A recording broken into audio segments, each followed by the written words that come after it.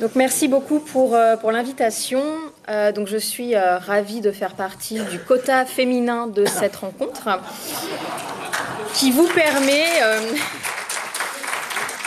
qui vous permet sur l'ensemble de la journée d'atteindre une parité que l'Assemblée nationale ou le Sénat n'ont pas à vous envier. Donc, pour combler ce manque de parité, j'ai décidé que j'allais parler trois fois plus longtemps que les autres. Mais comme j'ai un petit peu faim, en fait, je ne vais pas parler aussi euh, trois fois plus longtemps euh, que les autres. Je vais donc prendre une, euh, quinzaine de minutes, moi, pour parler de la question de, de la laïcité, de la liberté sous l'angle des droits des femmes, avec plutôt mon retour en tant que militante de terrain. Je n'invoquerai pas l'esprit de Simone de Beauvoir ou autre penseuse du mouvement féministe. Je veux vraiment témoigner un petit peu de ce qui se passe sur le terrain des droits des femmes quand on fait face à un, retour du religieux ou même de mouvements euh, réactionnaires qui se réclament un petit peu du, religieux également.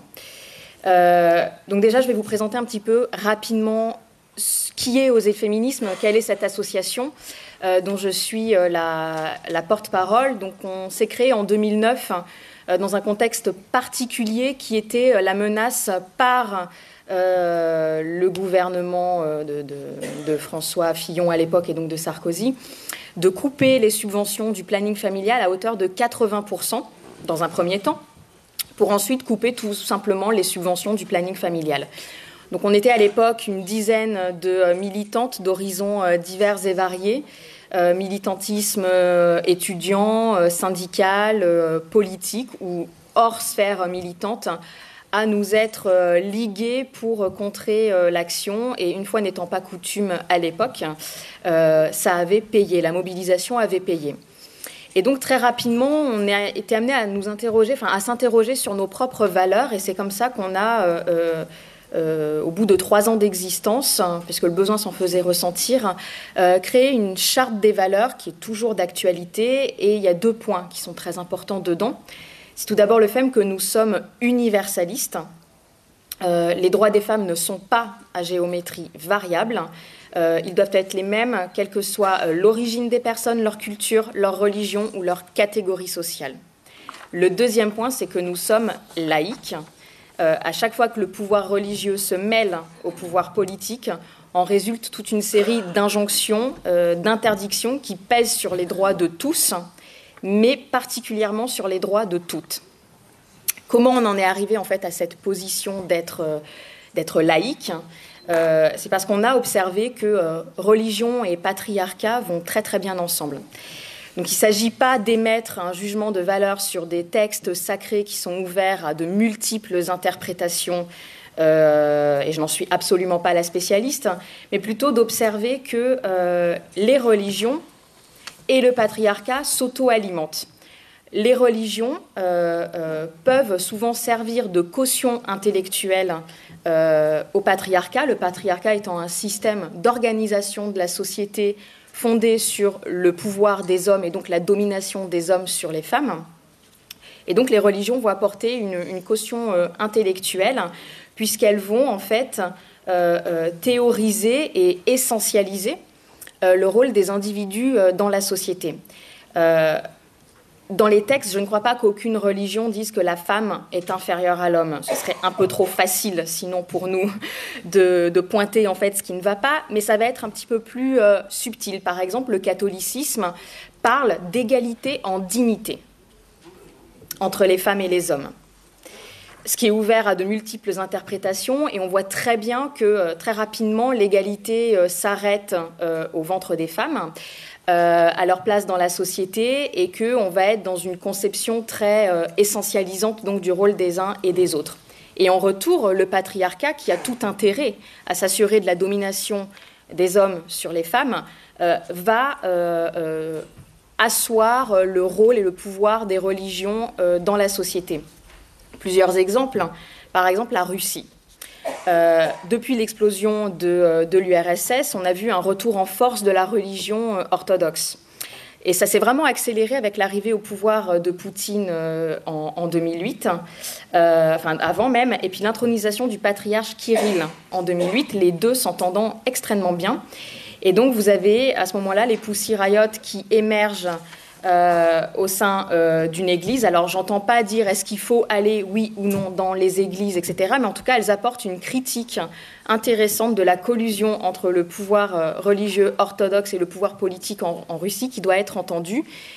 Le patriarche ne s'en remet pas, il demande un jugement exemplaire et il est entendu euh, par euh, le pouvoir judiciaire. Donc on voit que la collusion va en fait euh, extrêmement loin.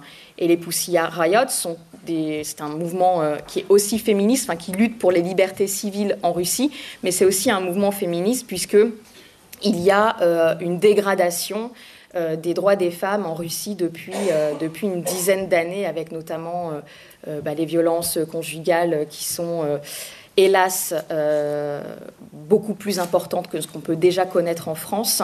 Euh, et pareil, un retour traditionnaliste, femmes au foyer, etc., dans un contexte de crise.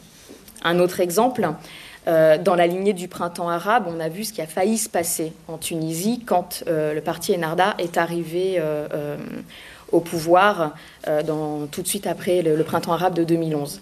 Il y a eu à ce moment-là une tentative d'introduire dans le code de la famille euh, la notion de complémentarité entre les femmes et les hommes, alors que jusque-là, la Tunisie était euh, un des pays les plus progressistes dans le bassin méditerranéen en termes de droits des femmes, hein, puisqu'ils avaient, euh, enfin, il y a toujours d'ailleurs l'avortement, enfin, il y avait vraiment un système de droits très avancé pour, pour les femmes.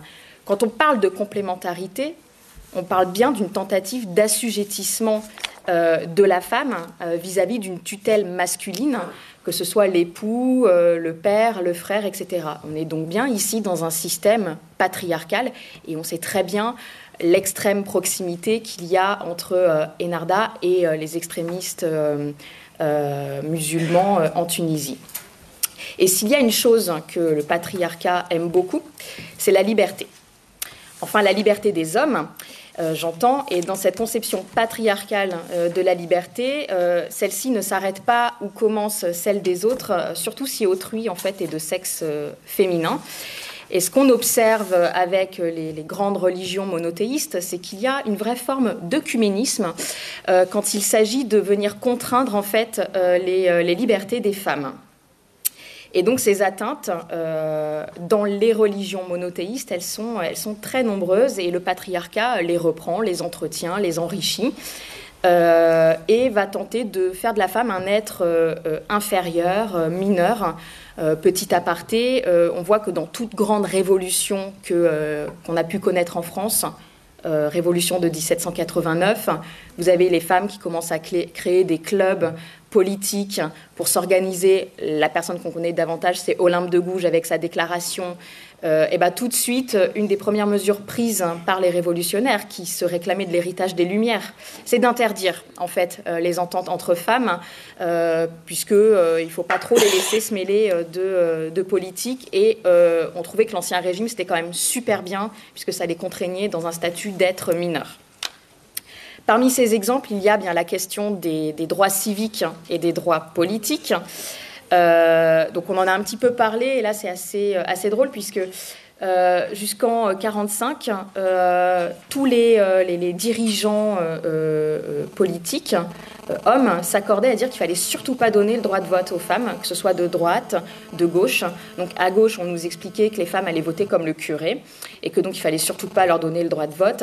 Et à droite, on nous expliquait qu'il fallait surtout pas donner le droit de vote aux femmes parce qu'on était de droite en fait et que euh, la droite a jamais été très très euh, ouverte en fait à la question des, droits des femmes. Qu'il a fallu attendre 45 pour qu'enfin les Françaises aient le droit de glisser euh, un bulletin euh, dans, l'urne.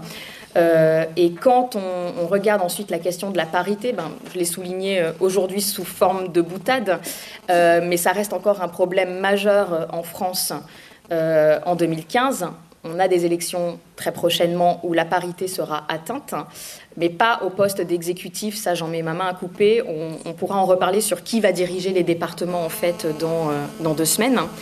Euh, et sur la question de, justement de la parité en politique, euh, on a parlé aussi du, FN et du dévoiement euh, de la laïcité. Et eh ben, le FN a, réussi le tour de force, je, relis la phrase depuis 3-4 jours, de parler de la parité en fait dans son projet politique que vous trouvez sur leur site internet. Ils ont inclus la question de la parité et des quotas dans la laïcité.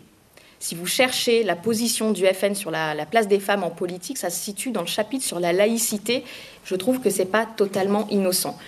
Donc le FN rappelle qu'il est très très attaché vraiment à la loi de 1905, tout en rappelant qu'on a quand même un socle chrétien très important et qu'il s'agit de pas l'oublier euh, non plus.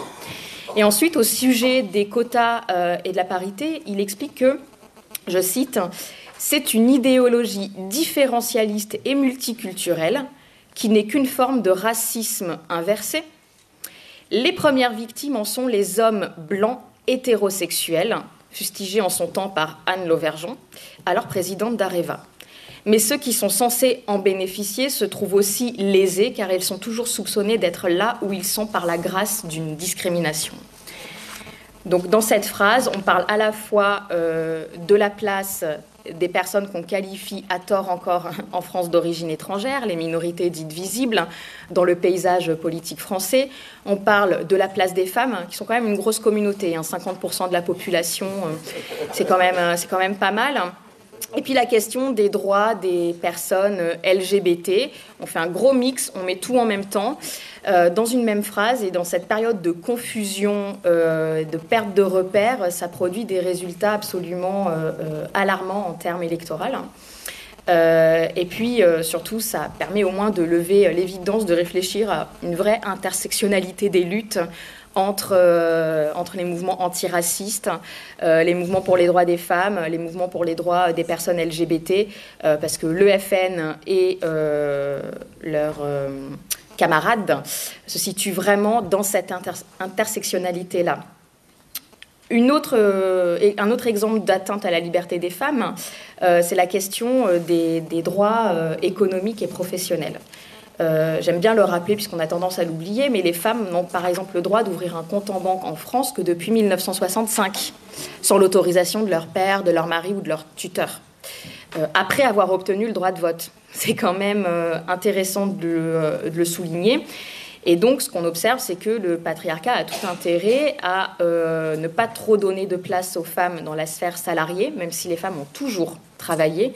Euh, c'est pas arrivé euh, récemment, mais c'est très récemment qu'elles ont le droit d'avoir leur propre compte en banque et d'être payées, d'avoir un salaire sur leur compte en banque et qui ne repartent pas auprès de, euh, leur tuteur masculin. Une autre atteinte ostentatoire à la question, enfin à la liberté des femmes, c'est bien évidemment la maternité qui est corrélée à la question de la sexualité. Euh, les féministes se sont battues pendant des décennies, et c'est hélas pas encore fini, pour euh, dissocier sexualité et maternité, et pour expliquer qu'une femme peut avoir des rapports sexuels à des fins de plaisir et de désir sans que euh, cela occasionne une, grossesse et donc la naissance d'un enfant. Donc en fait, les féministes, elles vont à l'encontre d'une vision binaire de la femme dans la société, c'est-à-dire la maman versus la putain. Voilà, euh, pour employer une expression un petit peu, un petit peu triviale, euh, notamment sur la question euh, de, la prostitution. Donc, je ne vais pas ouvrir un débat sur l'abolition, etc., même si Oser le féminisme est abolitionniste et a pris position là-dessus. Mais pour en revenir au FN, qui est aussi nourri d'un passé idéologique, religieux fort. Il ne faut pas oublier non plus qui sont les amis de Jean-Marie Le Pen. Euh, le FN va nous expliquer qu'il y a d'un côté quand même les femmes qui vont euh, avoir des enfants et on va tout faire pour leur permettre d'avoir des enfants dans une politique familialiste forte. Et que de l'autre, eh ben, il y a aussi euh, la prostitution qui est le plus vieux métier du monde et qui est un mal nécessaire pour permettre d'assouvir les besoins sexuels des hommes qui ne sont pas les mêmes que ceux des femmes. On est encore dans cette idée de complémentarité à défaut d'une idée d'égalité. Et puis donc, puisque je parlais de, toutes les questions de maternité et de sexualité, eh bien la première des libertés pour les femmes, euh, c'est l'avortement. Euh, il faut savoir qu'il y a quand même 47 000 femmes qui meurent encore euh, chaque année dans le monde des suites d'un avortement clandestin. et je ne vous parle pas de celles qui survivent avec des séquelles que je n'ose décrire. pourquoi est-ce qu'il y a encore une femme qui décède des suites d'un avortement clandestin toutes les 9 minutes dans le monde euh, bah, c'est parce que l'avortement, euh, l'accès à un avortement sûr et légal, comme on a en France, leur est dénié, parce que leur choix n'est pas écouté, n'est pas respecté. Je ne vais pas revenir sur les positions euh, du pape en cours et de tous ceux qui étaient papes avant lui. Il y a une vraie continuité là-dessus au sein de l'Église, de l'Église catholique. Et donc on voit que l'interdiction de l'avortement euh, va vraiment se situer sur un terrain euh, euh, religieux au nom de préceptes idéologiques ou de préceptes moraux et que un des objectifs premiers dans l'interdiction de l'avortement, au-delà du droit à la vie, à naître, qui est une notion qu'on peut aussi bien déconstruire, c'est de punir les femmes qui ont eu des rapports sexuels hors mariage et qui ne veulent pas garder l'enfant. Euh, moi, je le, vois encore, alors ça reste une position assez minoritaire, mais à chaque fois que, en tant que porte-parole d'Oser sur Twitter ou sur les réseaux sociaux, je poste quelque chose dans lequel j'explique euh, que euh, l'avortement c'est nécessaire, etc., vous pouvez être sûr que dans les dix minutes qui suivent, j'ai certains militants extrémistes euh, proches de la manif pour tous, etc., qui, font la combinaison royaliste, euh, catholique intégriste, proche de Civitas, qui vont m'expliquer que les femmes n'avaient pas qu'à ouvrir les cuisses. Et donc je leur réponds, mais qui est allé entre les cuisses? Et donc là, bah, ça ouvre un autre débat euh, sur la responsabilité des femmes quand même dans la maîtrise de la fécondité, etc. Euh, pourquoi est-ce que nous, féministes, on est très attachés euh, à l'avortement? Parce que c'est une question de liberté, parce que c'est la condition sine qua non pour permettre une réelle émancipation des femmes. Tant que la grossesse est une épée de Damoclès au-dessus de votre tête, vous ne pouvez pas prétendre à euh, l'égalité économique, politique, professionnelle ou dans la sphère privée, tant que vous ne vous êtes pas détaché de cette contrainte et que vous n'êtes pas maîtresse de votre destin. Et là où, sur le terrain de l'avortement, euh, à l'échelle euh, française, euh, européenne et mondiale, il y a un, vrai danger, c'est que les stratégies mises en œuvre par nos adversaires ont vraiment évolué. Si vous prenez les opposants à l'avortement en France en 75, c'était quand même des, groupuscules qui nourrissaient hein, les, politiques en place à l'époque, mais des groupuscules catholiques extrémistes qui sont toujours en vigueur, euh, enfin à l'œuvre pour certains, euh, qui avaient un vrai, euh, un, vrai vocabulaire religieux derrière et qui donc ont opéré ensuite des actions commando, etc. Donc on opère déjà de la part de nos adversaires un glissement sémantique, c'est-à-dire qu'ils ne se déclarent plus comme étant anti-avortement, mais pro-vie. Sous-entendu que nous, nous serions pour la mort dans le camp d'en face si on joue toujours sur, sur les mots. Le FN là-dessus est extrêmement fort. Jean-Marie Le Pen, lui, ce qui est bien, c'est que sur le terrain de l'avortement, vous pouvez être sûr qu'il va faire une sortie vraiment grossière et que vous allez pouvoir le dévisager. Mais dans leur programme, eux, ils parlent de liberté de ne pas avorter. Sous-entendu qu'on forcerait quand même les femmes à avorter. Marion Maréchal Le Pen, euh, elle, elle va même jusqu'à dire, en tant que femme, je me sens totalement solidaire de celles qui avortent, mais mon objectif, c'est de leur permettre d'avoir des conditions euh, sereines pour élever leur enfant, etc., puisque l'avortement est un drame. Donc elle va jouer en plus sur cette espèce de solidarité euh, féminine qui n'en est pas une en fait. On observe dans la lignée de ce glissement sémantique un changement de cible. C'est-à-dire que là où les commandos radicaux extrémistes des années 70-80 euh, s'attaquer au centre IVG et aux femmes qui venaient euh, avorter, puisque leur modus operandi, c'était d'aller pourrir les salles d'opération euh, chirurgicales pour briser en fait la, stérilité qui est nécessaire dans ces lieux et empêcher, le temps que tout soit remis d'équerre propre, etc., stérilisé, d'empêcher que des avortements se fassent. Euh, et ben ça, ils ne le font plus, ou ils sont vraiment, il n'y a plus qu'un groupe qui le fait, c'est SOS tout petit. Euh, mais donc, eux, ils vont vraiment euh, euh, s'expliquer qu'ils sont du côté des femmes, là où ils étaient leurs ennemis auparavant.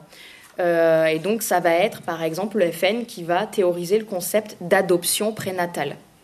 C'est-à-dire, comme ça se passe aux États-Unis, hein, dans certains États, une femme jeune, souvent précaire, est enceinte. Et on va lui expliquer que plutôt que d'avorter, elle pourrait faire vraiment un couple hétérosexuel, hein, faut pas déconner. Euh, elle pourrait faire vraiment un couple d'heureux qui n'arrive pas à avoir d'enfants euh, naturellement. Et donc elle va pouvoir choisir ce couple, nourrir des liens avec eux, etc. et leur confier euh, l'enfant lorsqu'elle aura accouché.